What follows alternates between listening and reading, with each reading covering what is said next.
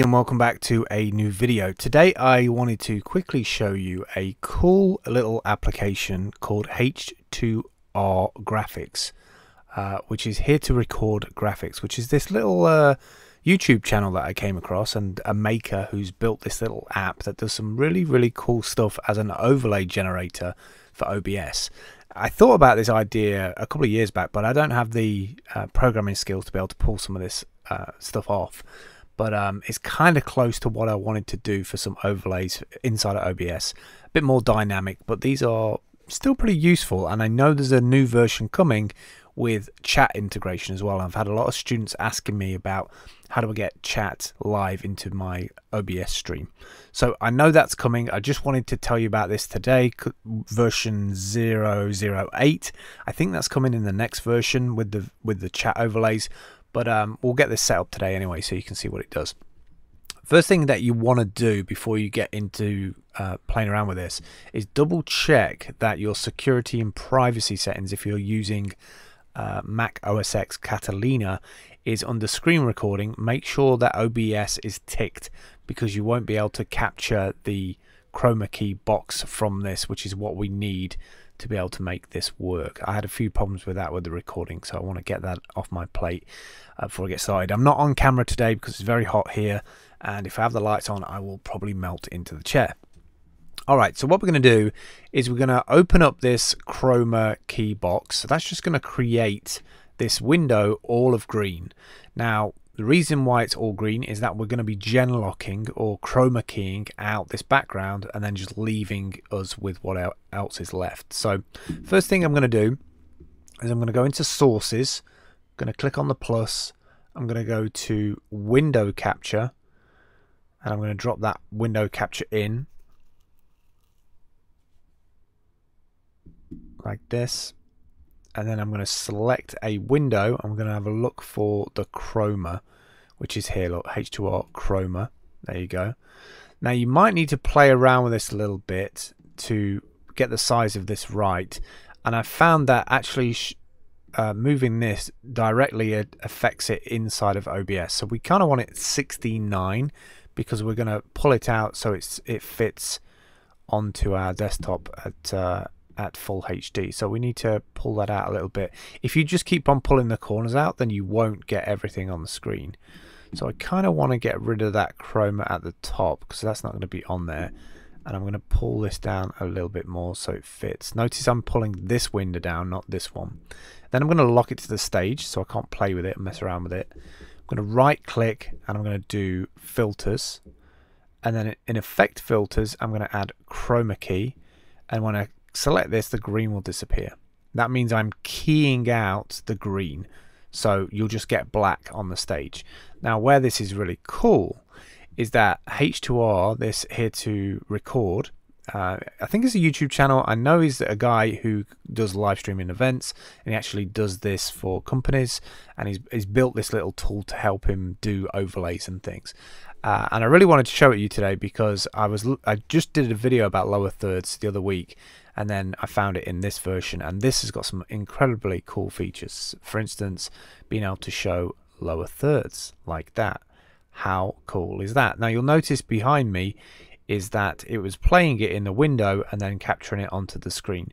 So all I'm doing is capturing that window and then anything I do in here can show up on there. So you can have things like tickers which is really really cool so you can update this text live on here there's a bunch of different options of changing the title text and the color. And the wonderful thing about this is it's dynamic. So you could just overlay that. You could type these things in while you're playing a game or maybe doing a live video chat with somebody and you can bring up a person's name. You can just hide that. We can even have a, a timer. So if you want to, oh, I need to put a hours. Let me just do this and do show. So you can have like a countdown timer somewhere. And if you wanted to, you could create multiple sources, I guess, and, and position these in a certain way so that you could have this clock a certain size, etc. So you can play around with that to your heart's content. Let's get rid of that. You can have a logo, so we can show like a logo on the screen. You can't really see it on there because it's a really tiny logo. Um, messages, you can kind of do um, messages as well. So there's like a light, you can position that, I presume. I can't remember how you do that. Oh, here you go.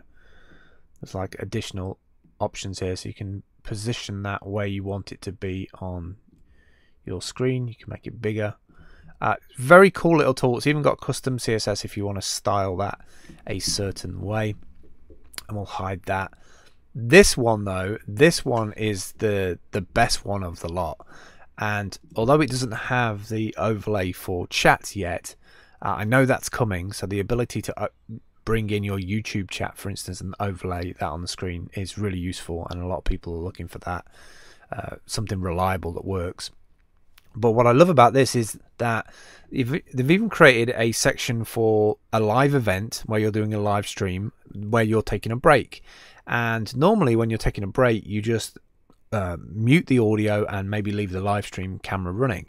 Well, they've integrated this ability to have a Google Sheet, and when you update this Google Sheet, you can actually put all the dates and times and who's going to be speaking next. So, for instance, here I've just refreshed, and you can see this is the, the default template they've got. And then the idea with that is that it will show the template. I've had some issues pulling this in, so I'm still playing around with this, but it will show the schedule on screen and who's next based on what time of day it is. Uh, and I think that's just that alone really makes this software incredibly useful if you're using it for live events or even just a streaming live event where you're the organizer being able to pull up and edit a Google spreadsheet and have that all ready ahead of time and knowing who's coming up next uh, I also saw on GitHub a little program that'll sit in your tray bar and it will remind you who's coming up next so you can kind of be on schedule, which I, I think that's just amazing to be in a piece of free software. And then you've got all the different settings here. Uh, different themes you can load, etc. You can control this. If we go back to the main page, you can control this using a um, these things called OSC commands. So if you are a really hardcore producer of live events, you'll feel really at home with this stuff because it's got all those commands. You can run a, a local server and actually activate things through Stream Decks and things like that. So very very cool tool if you're looking to do something a little bit more advanced with your um, with your OBS you can do all kinds of things with this and I'm sure you'll pick it up really, really easily. Just do a search for H2R graphics. The next version definitely comes with YouTube chat, and I'm gonna probably send it, shoot me an email and see if you can integrate other ones like Twitch and Mixer and things like that. All right, I just wanted to give you a heads up about this. If you haven't seen it yet, cool little tool, especially if you're doing live streaming with OBS.